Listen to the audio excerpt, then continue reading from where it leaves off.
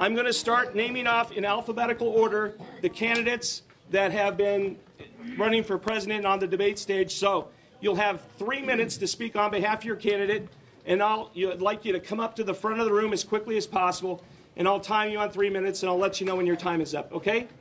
The reason I'm supporting Chris Christie is I care about the security of our country. And I am tired of President Obama, Senator Clinton, and the insiders in Washington putting our nation at risk. Ted Cruz is, is a tough guy. He he is not afraid. He, he takes on the establishment, and when he says he'll do something, he, he will do it. You can trust him. Um, you've heard a lot of the talk radio guys.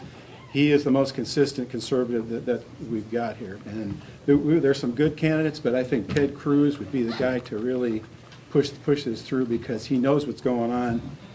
When Donald Trump announced his presidential run, I immediately, I immediately was on board with Donald Trump.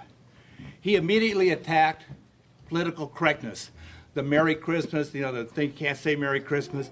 He attacked that. He promised southern border protection, and he attacked all out uh, the immigration policies and promised you know, no immigrants that are not properly screened to enter this country. And guess what? All the other Republican candidates started talking about these issues. They're going to hand out the ballots. We, we should have enough, but it looks like we have about 180 people or so. And I got to tell you, that's the largest crowd we've ever had in this precinct for a caucus. So